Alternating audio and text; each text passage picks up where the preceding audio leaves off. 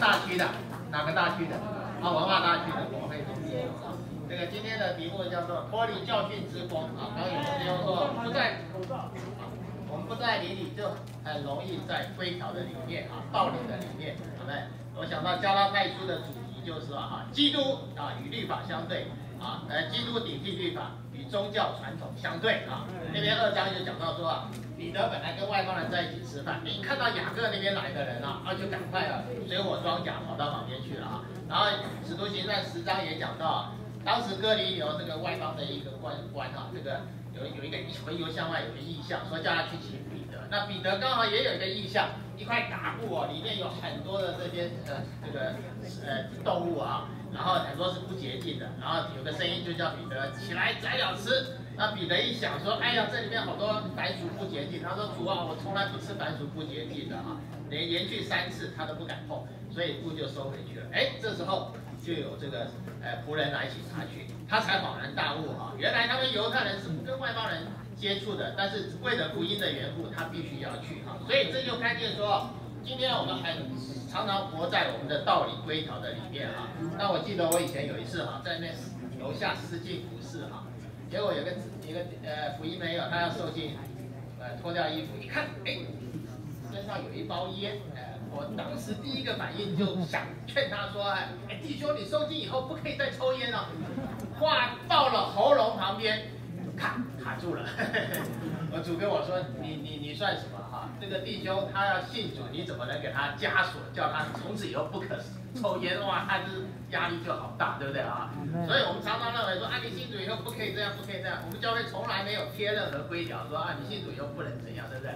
完全是生命之灵的律哈，在里里面我们教导我们，还有这个圣灵的高油来来涂我教导我们这个。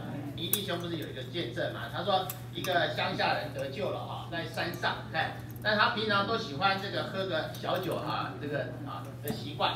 结果他那天想说我要不要喝酒？哎，他说哎，传道人没跟我讲说可不可以喝酒啊？后来猜猜看他有没有喝？哎，他没有喝。后来那个倪弟兄问他啊，你为什么没有喝？他说在我里面当家的不许。所以，我们信的是又真又活的主啊，不是宗教规条或者道理来枷锁我们啊。所以我们必须时时刻刻操练我们的灵啊，活在灵里啊。圣灵高油的涂抹会教导我们。哎，那这个待会啊，这个文章你就把那个这次的冬季训练的标语啊，改写一首诗歌，待会我们来唱哈。这个调子蛮熟的，大本九十五首。那这个在唱之前哈。这个最上周我们已经受完这个训练了哈，然后这周第六周感恩节都会完了之后，下一周开始就要进入到冬季现场训练的信息啊。那这个标语一定要把它背起来哈，我很享受这个标语，我来享受一下哈。那个旧约里十二哎呃那个十二卷历史书的内在意义，哎乃是启示神在人行动中的呃人在人历史中的行动，好没？然后这个呃呃为着呃为呃为神预备道路。以成就，以完成神永远的经纶，这是借着他成为人，使人在生命和性情上成为神，只是不分于神格，好产生并建造装备，做基督的生机的身体，终极完成新耶路撒冷，做他终极的彰显。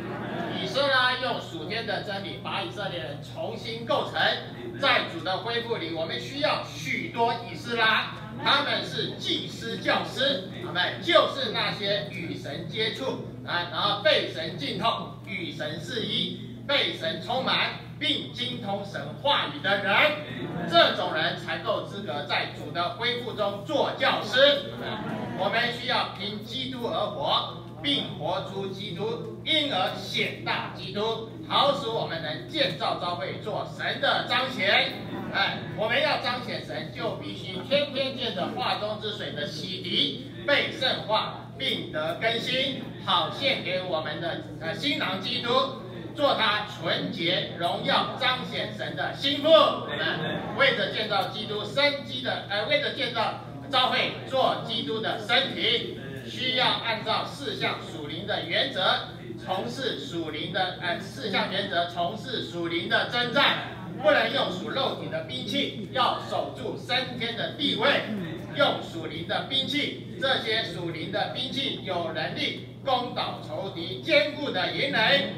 领悟啊领会啊这个祷告乃是征战那并在天的境界里从神的宝座发出征战的祷告诶